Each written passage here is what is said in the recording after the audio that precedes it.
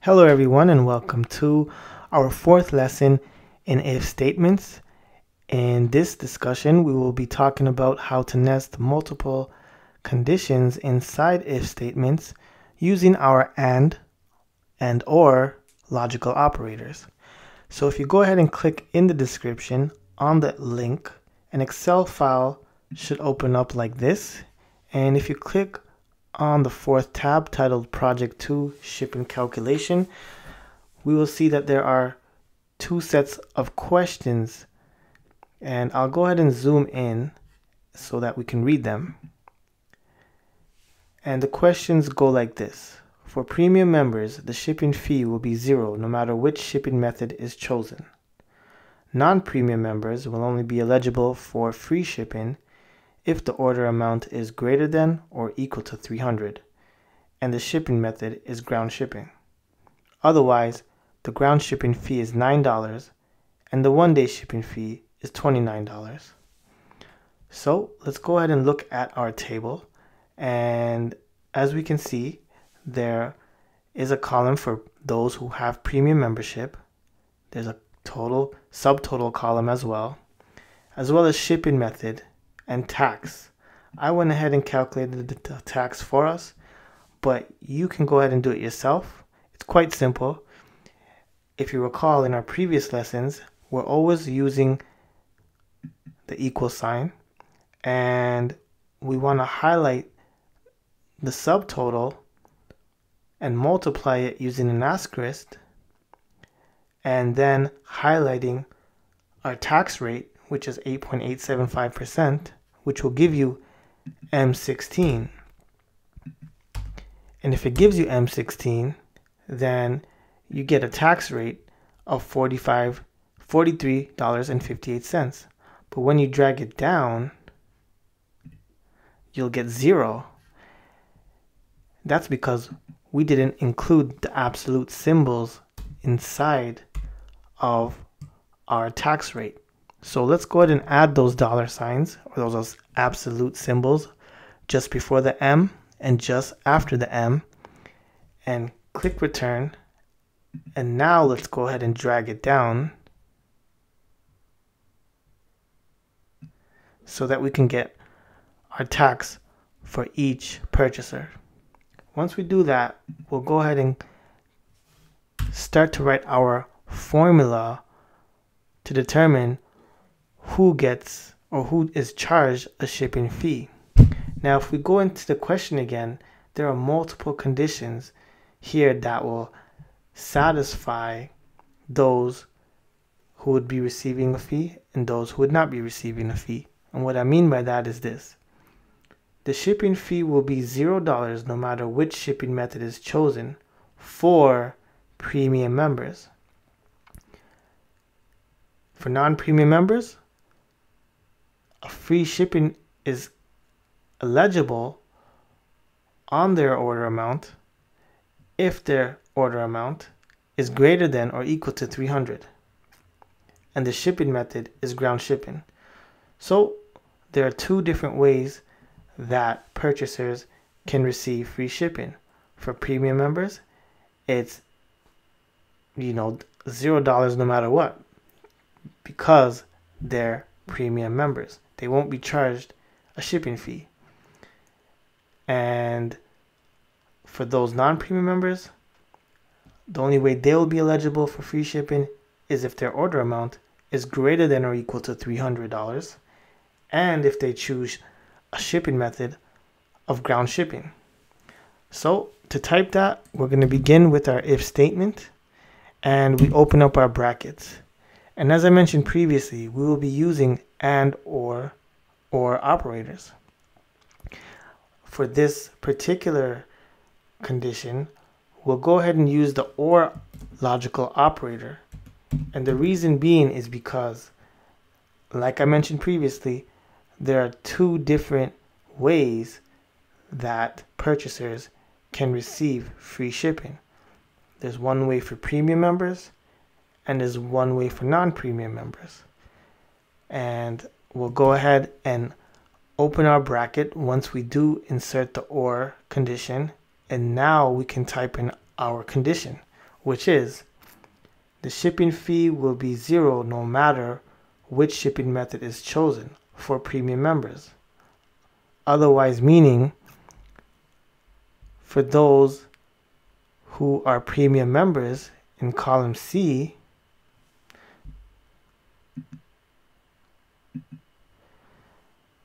if they're per if they are premium members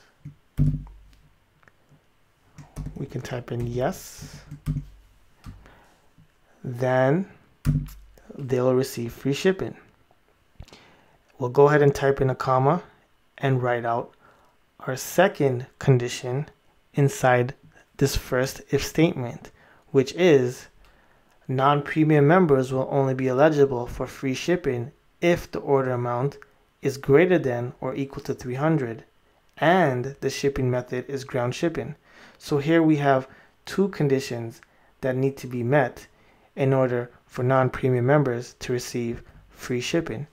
And if there are two conditions that need to be met, then we would be putting in the AND logical operator and opening up our condition and our condition is written similarly by clicking on C2 and typing in the equal sign.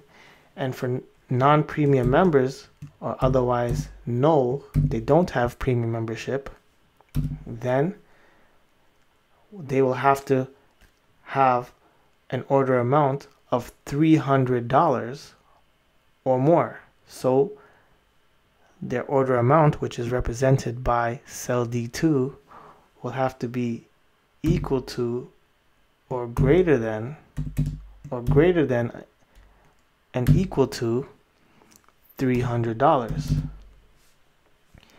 And the second condition is the shipping method has to be ground shipping. So we typed in AND here as a logical operator because there's two conditions that need to be met they have to have an order of more than $300 and they also have to choose ground shipping. So let's go ahead and separate uh, this argument with a comma by typing in or clicking on cell E2 and the equal sign.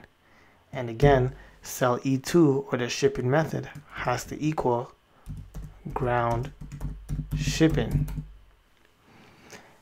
And let's close that up with quotations. And all our strings have to be in quotations. The yes string and the ground shipping string as well as the no string. And now we can go ahead and close this bracket. And if you recall, once we see a black bracket, that means that it's closed. Okay, but we won't be closing it entirely. So let's just leave it at the red black bracket and the red bracket suggests that we can go ahead and type in our true statement. So we haven't really typed in our true statement yet and that's because we were writing out our condition. So this whole condition, if the function in Excel checks for this condition and all of them check out or all of them are correct, then the true statement applies meaning that nobody has to pay zero dollars or nobody has to pay anything. The fee for those premium and non-premium members, once they satisfy the requirements, will be zero dollars for shipping. And we can go ahead and type in the last condition here after our true false or true if statement, which reads the ground shipping fee is $9 and the one day shipping fee is $29. So if you try and to satisfy these requirements and still are unable to fall under any of the requirements, then the false statement applies. Too bad, too sad. The ground shipping fee is $9. So we go ahead and type in our if statement, open it up with brackets, and type it in. The ship the ground shipping fee will be $9 represented by number 9 and the one day shipping fee will be $29. Let's go ahead and close that bracket up and click the bracket again, the parentheses one more time to close up the entire the entire formula and click return.